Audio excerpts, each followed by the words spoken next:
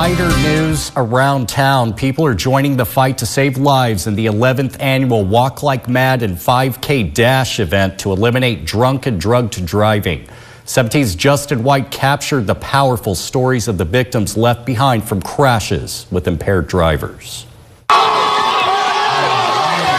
At the Walk Like MADD Dash, survivors of impaired driving are at the top of mind. More than 11 DUI arrests are made in Kern County each day. That equals about 4,000 every year. It can take up to 80 instances of impaired driving before an offender is finally arrested for the first time. Sometimes it's too late. Um, that day, we were having fun with family. The kids were running around playing and hanging out.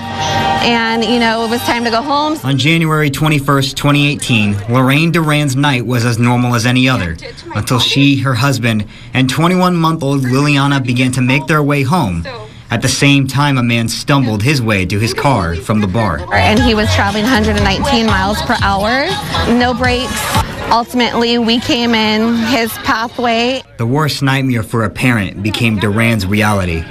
They had planned an Elmo themed second birthday party for Liliana, a party she didn't make it to see. As soon as we got to the hospital, there was people in and out of the in and out her room running and trying to do everything that they could do to help save her, but ultimately they couldn't. Tragedies like Duran's were commonplace at the park at Riverwalk today, including a similar story from Jessica McGee. My friends and I were on our way home. We were coming home from a baseball game and we were hit by a driver under the influence of drugs and alcohol. I lost both of my friends that day and I was the only survivor. Stories like these are why they run.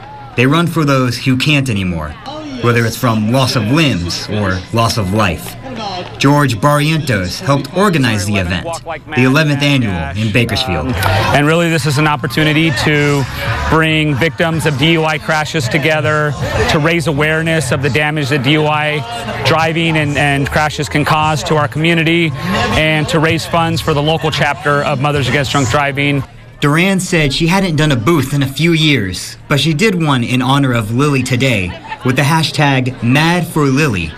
Her booth featured a coloring corner where kids, maybe kids Lily's age, can draw.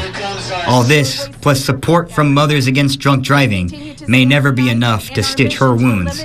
But it's a start. You know, she would be some of these kids' age. She would be eight and, you know, wanting to do things and maybe coming to events like this. And I want to have stuff for the kids to have as well and do. And and the proceeds of this walk will go to help fund school programs against impaired driving, fund DUI checkpoints, and support the families of victims. And remember, if you go out, plan accordingly, drink responsibly, and if you're under the influence of any substance, never, ever get behind the wheel. From the park at Riverwalk, Justin White, 17 News.